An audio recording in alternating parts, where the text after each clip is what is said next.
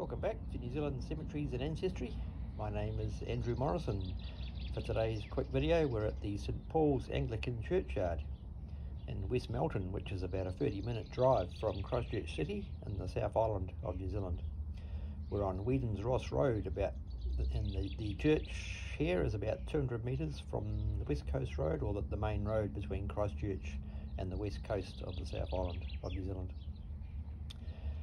This small church has traditional older graves from the late 1800s to the early 1900s and more modern upright graves on concrete beams. Beautiful church here dating from the 1873. There's a small stream on the West Melton Road boundary. Um, sports grounds towards the west. Residential housing surrounding the church here. Beautiful church. Beautiful old church. And um, lots of farming families, pioneers of the area buried here.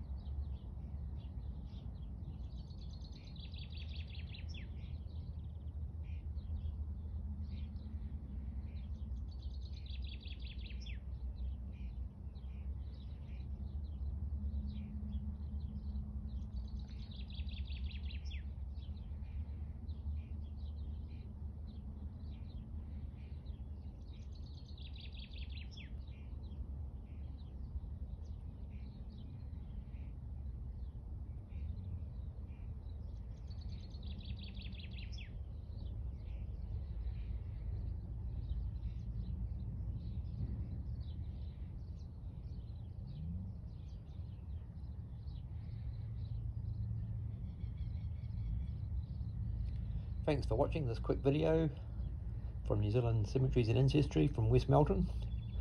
Hope you've enjoyed the video. Please subscribe to my channel for more updates on future videos. And once again, thanks for watching.